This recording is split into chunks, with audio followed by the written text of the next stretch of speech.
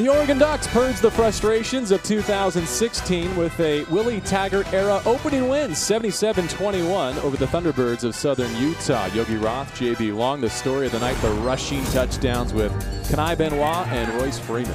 Well, they got behind this experienced now offensive line led by Tyrell Crosby, and it was a downhill effort. Make no mistake about it, it wasn't trying to run east and west. It was put your foot in the ground, get physical, follow this offensive line, and everybody got involved in the action, JB. Now, this is kind of the persona that Taggart established at South Florida, which put him in position to take on this rebuilding task. Charles Nelson goes up over the top and just breaks the goal line. And even late in the contest, when Taylor Alie took over, a fifth year senior, another local product, and he danced his way in for the capper for the Ducks. Well, look, every team wants to develop an identity. And the best way to go about it, because the thing you can control, is being physical. And they're physical up front with the offensive line, they're physical in the run game, and they need to be physical because Nebraska, one of the more physical teams in the country, is coming odds in a week from today.